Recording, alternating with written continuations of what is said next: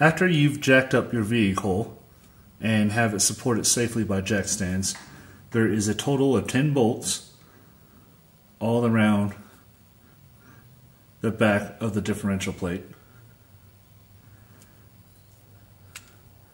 I'm using a half inch, but a 13 uh, will also work. I find the half inch fits a lot easier on mine. And um, just in case if it starts leaking, you're going to want to have a pan of some kind to catch the oil.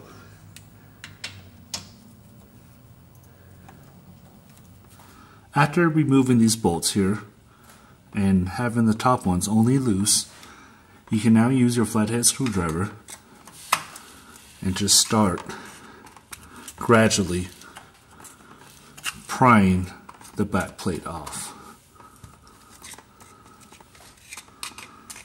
Now you do not want to gouge the differential.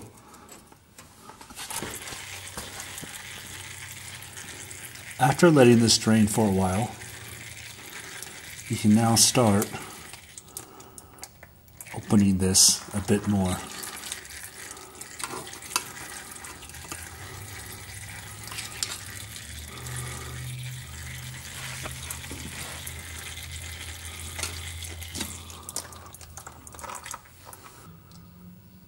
Once the oil starts draining to a drip, you can now start beginning to take off the top bolts holding the differential. Now, with the remaining bolts out, you can just use your hands, just slowly begin to take off the differential cover.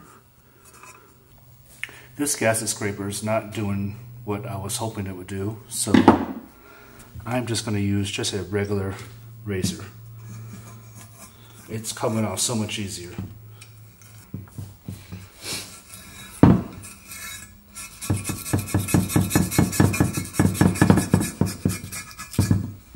After getting off what you can of the old remnants of the gasket, I don't think it's absolutely necessary to take off every single little piece.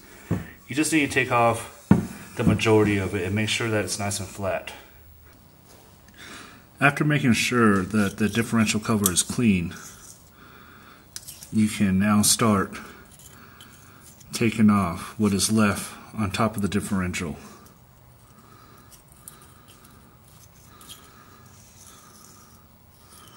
I like using a razor blade but if you guys are uncomfortable using it, you know, they have special gasket scrapers at um, any auto parts store.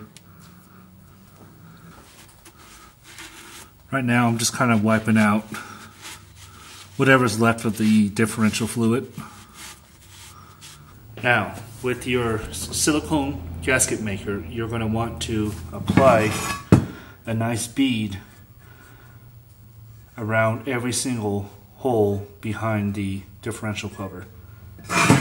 Just like so.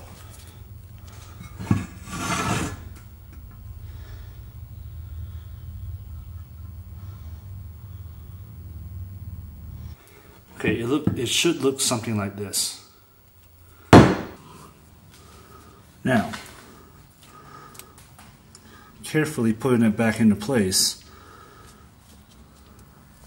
you want to start putting the bolts back in. Only using your fingers, of course.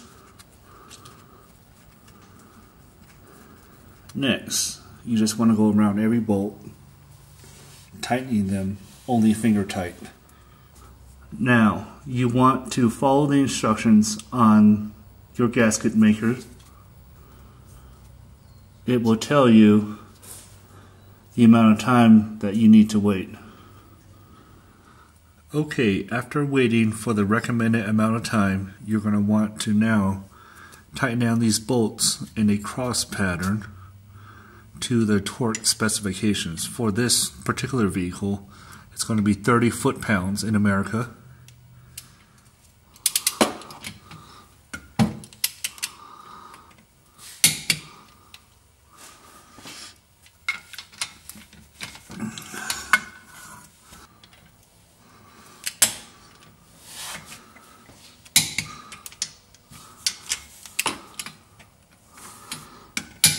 Once you have it all tightened, I like to go around again one more time and just to recheck all of them.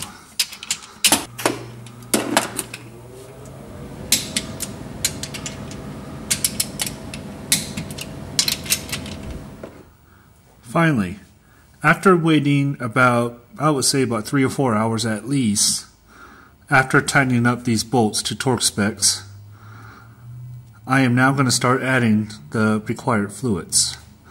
The first thing I'm going to be adding is going to be a friction modifier. it is a limited slip differential additive. Even though the oils I have already have the limited slip additive added to it, it is still not enough. It is still not enough for what's required for this type of differential. Okay? Because there is already um, some limited slip additives in the oil, I am only going to use about maybe half of this. Now,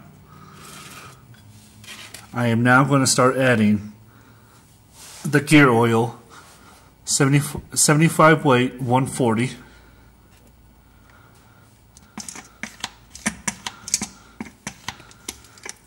full synthetic is the only fluids that I ever use and you just simply keep adding fluid until it starts to leak out of this hole just a little bit.